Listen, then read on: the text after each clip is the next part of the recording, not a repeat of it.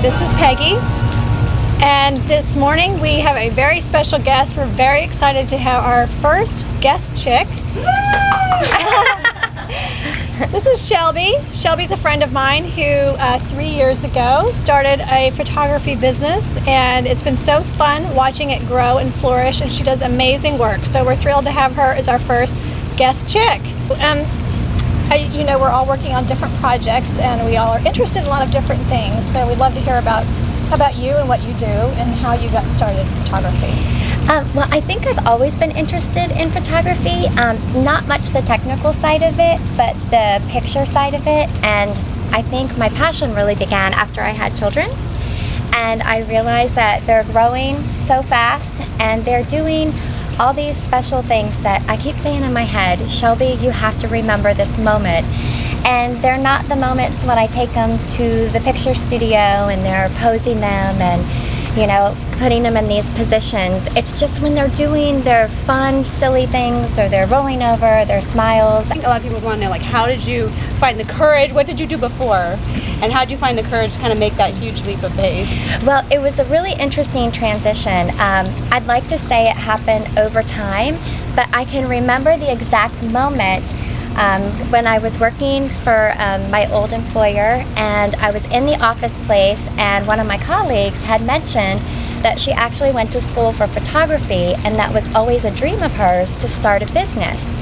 And she left the office and all of a sudden I felt my heart racing and I felt like this is something I want to do. Like all of a sudden it was like a light bulb that went off and I said, I'm going to do this. I'm going to start a business. Like it, it clicked. I've spent my whole life dancing and expressing my creativity through motion. Mm-hmm. And now I felt like that was missing in the workplace, being able to express myself in some way. And now I get to express emotion through pictures. And so it all started going together and going together. And by the time I got home, I was already thinking of company names. And I told my husband, I need to have a talk with you. This is, I've decided what I want to do. And so his first reaction was, Did you have a bad day at work? and I said, No, I just, I feel this, I can't, my heart can't stop beating. I feel like this is something that I was meant to do and I want to do it. And I, I just have this like feeling that I'm going to be good at it. And he said, Okay, well, you probably ought to get a camera first. I think he thought I was crazy. so um, he said, you know, do it. I support you. And that was like a big moment for him to take the leap and say, I support you. And um, so I started getting things in motion while I was working. So, what do you do to keep your creative growth going? Well, um, I do a couple things. Um, I think it's really important, and you all know, to have some creative rest. Mm-hmm. and this summer, I have taken the summer off. Um, I've accepted a few baby clients, babies that are due over the summer. And I said to my husband, who his first reaction was, you can't take the summer off. and I said, yes, I can. and I am. And um, I just said to him, I want to go back to not doing it for a business just for the summer. I want to play with my kids. I want to take them to different places. I want to do a lot of experimentation and I just want to kind of creatively re-energize myself. And I, I get together with a lot of different photographers from all over the country.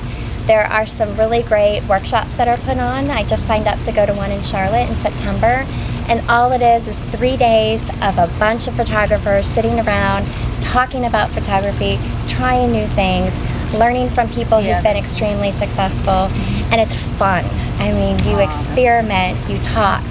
Um, there's an online Facebook group that I converse with for Central Florida female photographers. Um, one of the local photographers put that together. Oh, I love that. And it's yeah. been a great non-competitive way to share ideas. Probably what you're saying is that um, if an artist in any field wants to be successful, they have to find a, a group of, say, I don't know, three or four or so. um, like to them up exactly. It is helpful. We should support each other. Yeah, we should, and it should not be competitive. I strongly yeah. feel that we uh, yeah. there's enough business to go around, and we should all be able to support one another. Yeah. Artists all have self doubt at some point. So, do you ever have self doubt, and what do you do to overcome it? Um, I mean, of course. I think we all do. And um, there'll be sometimes I'll come back from a session and, you know, it could be a family or a child that had a hard time warming up to me, and maybe I'll look at the pictures and feel like, gosh, I'm taking a step backwards. And um, I think what's helped me is again to talk to other friends and photographers. And you know, the one thing that they'll say to me is, "We are our own worst critic." And your clients will love the pictures, but you will always critique them. You find really, really energizing and inspiring. Um, you know, honestly, I thought about that. There's two things that really inspire me. The first is my kids. I mean, my kids were really the entire inspiration for starting my business and my passion for photography. The things that they do, I mean, even even the crying and the tantrums and um, things that they do that drive me crazy. So I- you say, hold on, honey, let me get a camera. I think those are more mental photographs. but I, I, I do say, my mom tells me all the time, no matter how you feel, Shelby, these are the best years of your life. And I always think that in my head. One day it's going to be quiet and it, my life will not be chaotic and I will miss it. So they truly inspire me. Um, I also feel like places inspire me, just um, beauty in general.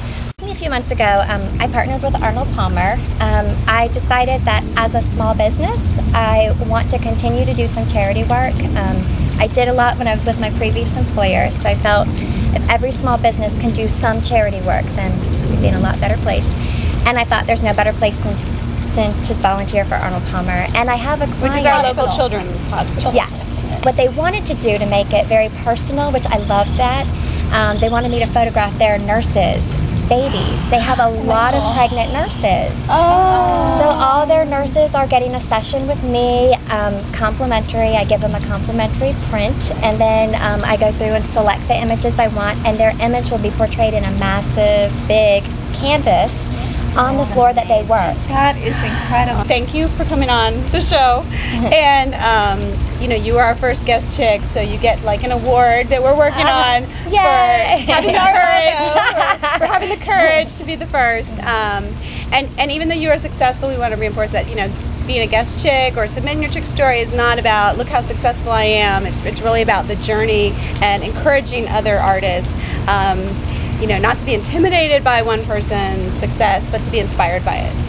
So, um, what advice would you give to our future guest chicks who will no doubt want to come on the show? Um, well, I'm really honored to be here. So I think any guest chick should be honored to be amongst other successful women, and I would just tell them to embrace it. And um, I hope that these friendships remain friendships forever, and that we continue to support each other in our creative ventures.